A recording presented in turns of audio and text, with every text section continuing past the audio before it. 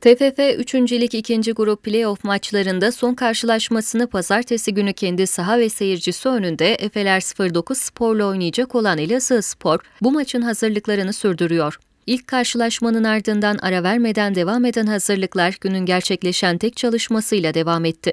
Tüm futbolcuların eksiksiz olarak katıldığı günün tek çalışmasında futbolcuların hayli moralli ve istekli oldukları gözlendi.